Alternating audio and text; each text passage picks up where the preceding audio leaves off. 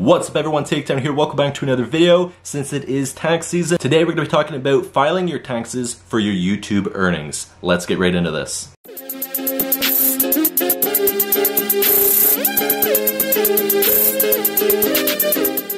So for me personally, the summer of 2020 is whenever I started to get ads on the channel and started to make a small income. Of course, nothing to replace a full-time job, but it was something enough that I do have to report it for my taxes this year. This is gonna be the first year that I have to claim taxes because the summer of 2020 is whenever I started to make income on YouTube and I have to claim it for my taxes this year. Now, I did not know anything about how to do this and what I was able to claim as obviously the income, which is easy easy to determine, but also what I can claim as expenses. Luckily, I'm in a few Facebook and Reddit groups for YouTube, and a lot of people were very generous in helping me out on how to file my taxes this year when it comes to my YouTube earnings. The first thing I want to mention is I am a Canadian YouTuber, so I do have to file my taxes with the CRA. Now, depending on where you live and how you file your taxes, the forms and how you file your taxes might be different, but I believe the principles of what you can claim for your expenses should be the same same. Here in Canada, any way that you make money online, you have to report it to CRA on your income tax because you count as a small business. Even though you're an online business and even with YouTube, you count as a small business. Back in, I believe, 2018, I might be wrong, but I believe it was 2018,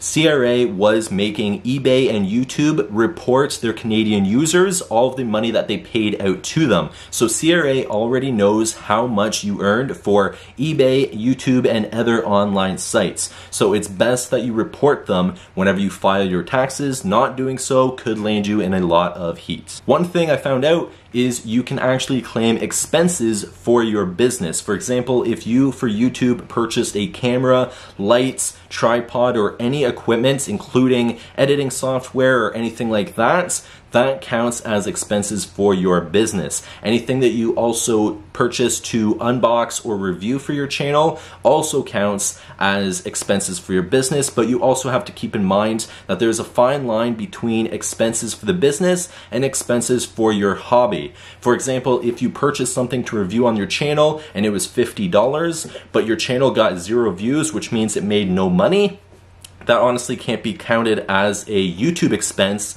because it didn't actually occur for the business side. It didn't make any money. So you didn't spend that $50 to make money. You just spent it to make a YouTube video and it didn't in turn make any money for the business side of things. Now you can still claim those, but you also want to keep in mind that CRA may question some of your expenses if your expenses are higher than your income for multiple years. Here in Canada, I think the CRA is okay with three to four years of your business not making a profit, and that is realistic because there is a lot of startup costs with any business, but you have to keep in mind that you can't claim every single thing when you file your taxes for YouTube. For example, for your YouTube, if from year start to year end you earned $1,000, but your expenses were closer to $5,000 if you purchased cameras, equipment, or things to unbox on your channel, CRA is eventually going to question that. Whereas if your earnings were $1,000, but your expenses were about 1200 to 1500 that's more realistic and they would be more okay with that and likely not raise any red flags. The goal for any YouTuber is to make profit, so down the line you would want to make more profit than your expenses. But you have to keep in mind that with YouTube, they don't take taxes off of you. So expect, if you're on YouTube, expect some of your earnings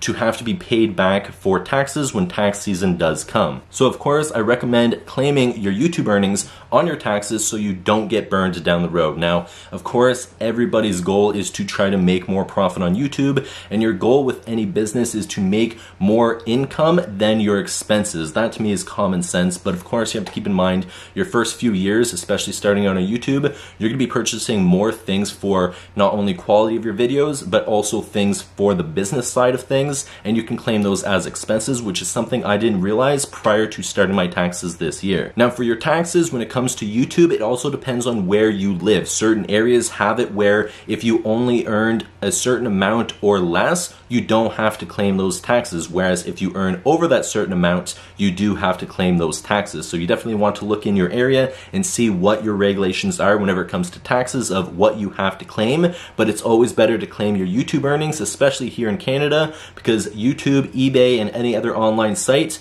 do report those earnings to CRA. So CRA already knows that you earned that money the past year. If you guys have any other questions for how to do your taxes with YouTube earnings, let me know in the comments down below. I will help you guys out. I myself use Simple Tax, which is very easy. So you basically go on and you do apply as if you are a regular business under that section.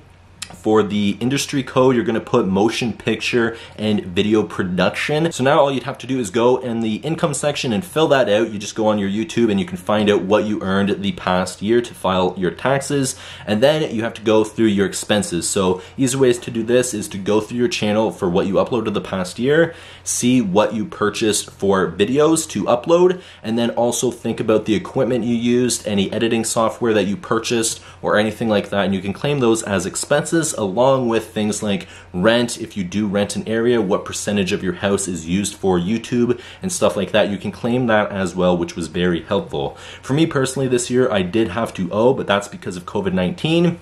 Fortunately, once I put in my YouTube earnings, because my YouTube earnings, my expenses were about $300 more than my income, it actually saved me about $70 on my taxes, which was very, very helpful. So I'm definitely glad I did file my taxes and claim YouTube this year. I knew I had to anyways, but I'm glad I did that. So I highly recommend doing so, especially if your expenses are higher than your income, it might lower your taxes for the year. Now, of course, down the line, if five years go by and your expenses are still way, way higher than your income, CRA may question that down the road.